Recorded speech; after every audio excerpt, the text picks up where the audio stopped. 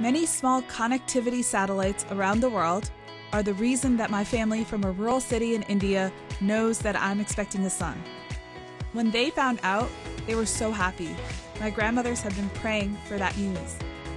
The ability to talk and video chat over the internet is the only way that I stay connected to them in India. 10 years ago, I wouldn't have been able to see their reaction. They only recently got high speed internet access thanks to a network of communication satellites in low Earth orbit. Powered by TI's high reliability space grade devices, the satellites have increased internet penetration across India from 5% to over 50% in just 10 years. As a product marketing engineer on our Space Power products team, I'm proud to work on technology that's helping connect people in the furthest regions of the planet.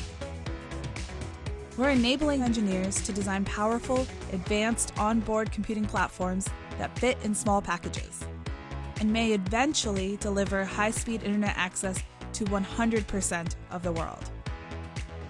It's one way TI is engineering the next frontier